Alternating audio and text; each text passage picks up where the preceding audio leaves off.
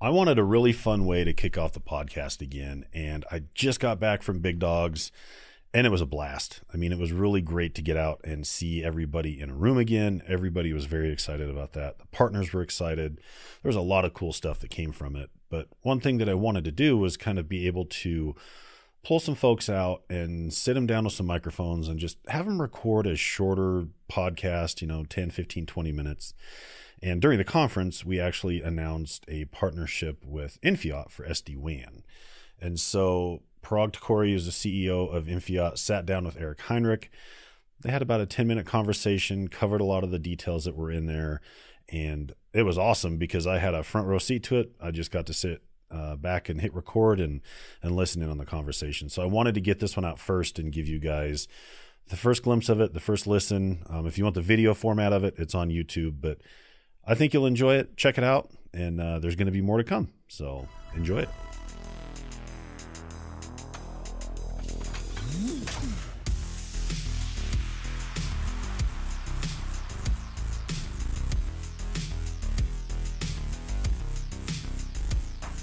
Hi, so this I'm Erik Heinrich, Senior Director, Partnerships at Ruckus, and I'm joined today with uh, Thakore, the CEO and founder of Infiot. So, um, just uh, first to start with, you know, you have a lot of experience in the industry. You've been around here in Silicon Valley, um, in the tech industry for some time, with a focus on uh, various different networking technologies in particular. I am curious to learn a little bit around um, what you're seeing right now as some of the trends going on in the industry, uh, perhaps around SD WAN, SASE, uh, those sorts of things. Sure. Thank you. Thanks, Erik, and thanks for the opportunity. Um, if you look at like general trend, um, you know, we lived the life of Gen 1, you can call it even Gen 0 SD-WAN, which was MPLS. And right. the way to think of MPLS networks is it's like a one-to-one connectivity, wherein there's a branch office which connects back to the data center. Now, SD-WAN came in and there are a lot of SD-WAN vendors out there, which kind of brought in this one-to-many connectivity is what I call it. So think of the same branch office now connecting back to the data center is now also connecting back to the cloud and people had these big fat devices which are being deployed in the branch offices and being managed from the cloud. And in a general trend, what started happening is this one to one connectivity went to one to many with SD WAN. And now we are seeing borderless WAN. And with borderless WAN, what has happened is there are no borders and the connectivity has become many to many. So think of people working from home, think of IoT devices, think of micro branches, think of multi cloud, edges everywhere and there are no perimeters. So what I call as the trend moving from MPLS, which was like a two to three billion dollar market, moved into SD-WAN, which was a five to six billion dollar market.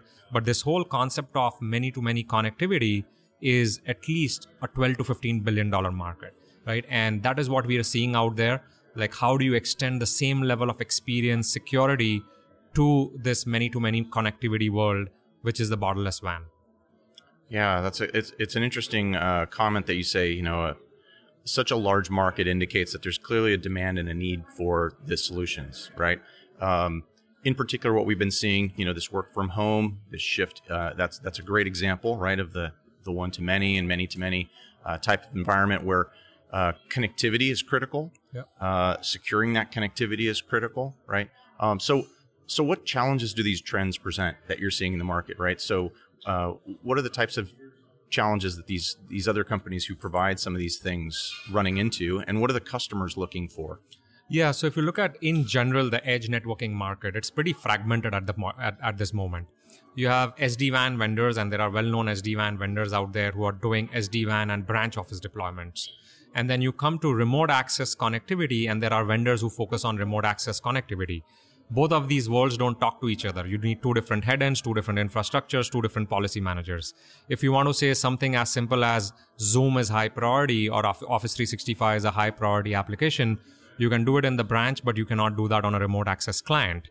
So the point being that the user is the same. So if I, as a user, move from a branch office to a cafe to a home environment, I should be carrying the same level of security, the same level of performance, no matter where I am as an end user. And on top of it, you will see connectivity through cellular vendors. So we'll get into deployments where there is a SD-WAN deployment, and then on top of it, you will get another vendor to deploy cellular adapters in the network. So hmm. again, this is yet another point of fragmentation. And then you have a slew of multi cloud vendors doing just the multi cloud piece. So if you think of four pieces of jigsaw puzzles, wherein you have SD-WAN, you have remote access, you have uh, the multi-cloud, and you have the cellular connectivity, this is a fragmented world, right? And that is what Infiot is trying to solve. We wanted to build this one software, like all in one, where you can get this consistent security, consistent performance across these different use cases. Oh, that's fantastic. Yeah. Um, and then you mentioned that um, you have these multiple different components, right, that you're delivering, these features you're delivering. And then what pulls them all together ultimately is, is going to be a key, right? Because as you say, you have these different fragmented types of things, something that needs to pull them all together. So, so what is the solution that uh, that Infiot is really looking to to to bring to solve some of these challenges? Yeah, so to realize this vision, it was interesting. We had to build a portfolio of products on our end. So, for example, we have an Infiot extensible edge, which is one of the examples is right here on the table, which is like a micro branch work from home environment. It has built in Wi Fi. Uh, we have medium size appliances. We have large size appliances that can go in a branch or a data center. We have Infiot ZETO client, which has exactly the same functionality but running as a software form factor. We have a cellular gateway functionality, which replaces all the cellular vendors out there, and you can use Infiot Cellular Gateway. And on top of it, we have something we call as cloud services fabric. So if you're trying to send traffic to a well-known cloud application, you don't need to host your own headends. You can use one of the headend pops from Infiot, right? So it all comes in together in a single pane of glass, single policy that can manage the entire infrastructure. On top of it, you need an underlying principle, what we call as ZETO. So ZETO is zero trust plus optimization. One of the big market gaps that we saw was a lot of the SD-WAN vendors will talk about optimization, but zero trust is lacking. That means the identity aware access is lacking in these systems. On the other hand, you have remote access clients that have identity based access. They have the zero trust features, but they lack optimization, right? So, what we wanted to do, this word ZETO is very powerful. Zero trust plus optimization is the software principle, and it applies across our architecture. Again, it will apply on uh, from the users working at home to a cafe, to a branch office, to a multi-cloud environment. It's exactly the same software running everywhere. So in this in this kind of a scenario, um, where does the identity come from, or the policy itself come from? Uh, maybe you can share a little bit about how that ties yeah, in. Yeah, sure. So that's where we have done some really good tight integrations with Ruckus on their Cloudpath product. Uh, uh, we have other vendors that we interoperate with as well. But what we have done here is a tight integration with Ruckus. So a lot of the identity information is already inside the Cloudpath product, and we can honor those attributes. So if you're creating your QoS policies or security policies, we'll we'll honor those policies based on identity of the user.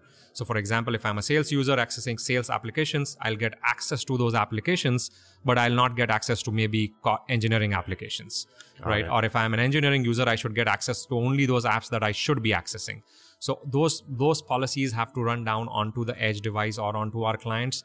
But again, we tie deeply into Ruckus's Cloudpath product for to make it work end to end. Yeah, like peanut butter and jelly, they go yes. better together. Yeah, exactly. Yep. So, um, just a final question here before we wrap up. Um, I'm curious uh, in terms of how this is then delivered to the customer, right? Um, to a, to an end user, an enterprise who wants to use this service.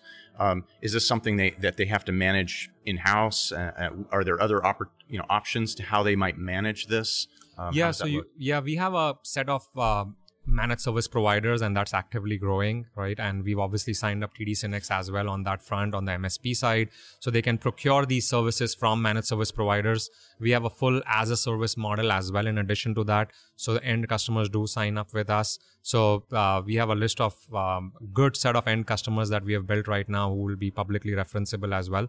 Uh, but yeah, it will be delivered as a service and it can come from MSP, or if they have a lean IT team, they can self manage it as well. And one more very last last question. Um, a couple ideas of maybe t- types of customers, right? W- what are the ideal types of customers, or maybe some customers that you've worked with uh, who've had a really good, successful deployment, and what benefits have they seen? Sure, I'll talk about some referenceable accounts. For example, we have AT Still University. Uh, they deployed it for their work from home users, and then come three or four months, they just said, "Hey, can I get a larger version of this box?" In my university, in my sites. So they're expanding it. are expanding it. So the use case started with one use case and it kind of expanded into universities. Uh, we have uh, PDC Energy, for instance. We started with their executives who are working from home. It actually got expanded to their connected trucks. So we have little one of this device inside their trucks as we speak. So we won all of their trucking sites. And now we are going to be deployed. We are discussing deployments in their oil wells and also for their remote users. So the benefit here is you can get one converged architecture, right? You can start with one place as a specific use case that is your current pain point, and then you can slowly go and disperse other use cases across the enterprise. Oh, that's fantastic. Well, thank you very much for sharing all the information with us today. Uh, I, I learned a lot, and uh, and we're really fortunate to have you and to share this information with all of us. So, thank you very much. Thank you, and thanks for the opportunity. Thank you.